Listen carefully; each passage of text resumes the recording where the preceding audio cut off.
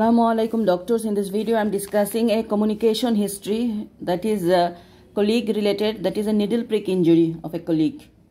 So first IRCAP as usual then tell me how can I help you uh, that uh, I want to know the chance of having hepatitis C, B and HIV. So hepatitis B virus is 30%, hepatitis C is 3% and HIV is 0.3% again. Hepatitis B virus is 30%, hepatitis C virus is 3% and HIV is 0.3%. Okay, doctor, what could I do? How can I take the post-exposure prophylaxis?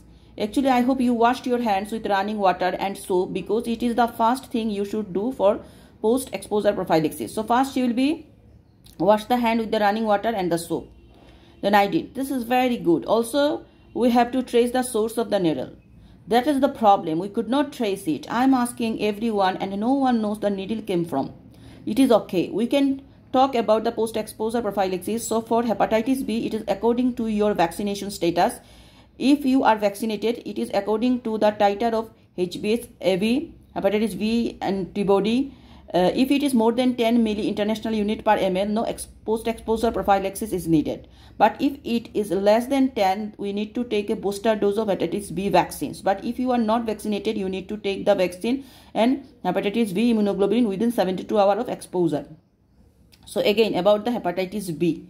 Hepatitis B, it is okay. We can talk about the post-exposure prophylaxis. So about uh, hepatitis B, it is according to your vaccination status. If you are vaccinated, it is according to your hepatitis B antibody um, titer. If it is more than 10 milli international unit per ml, no post-exposure prophylaxis is needed. But if it is less than 10, we need to take a booster dose of hepatitis B vaccine.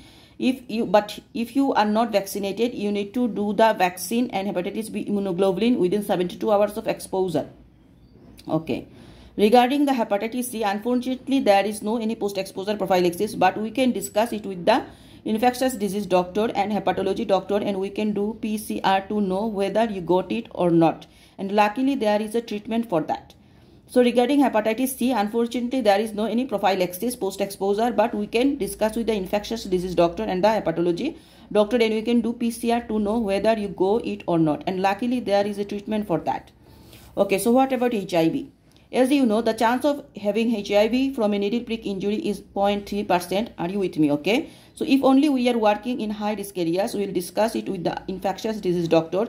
They may give you two or three antiretroviral medications or four weeks or 28 days. Am I clear? So HIV is 0.3%. So if only we are working in the high risk areas, we will discuss it with the infectious disease doctor.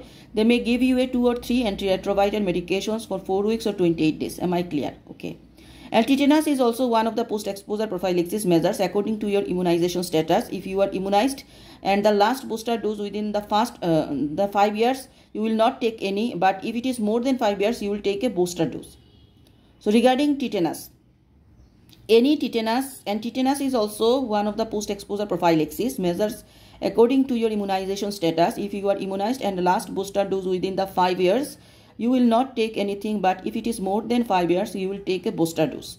But if I am not immunized, you will take both of them, the vaccine and TIG, tetanus immunoglobulin. Am I clear so far? Okay, doctor. Then the last what do we do?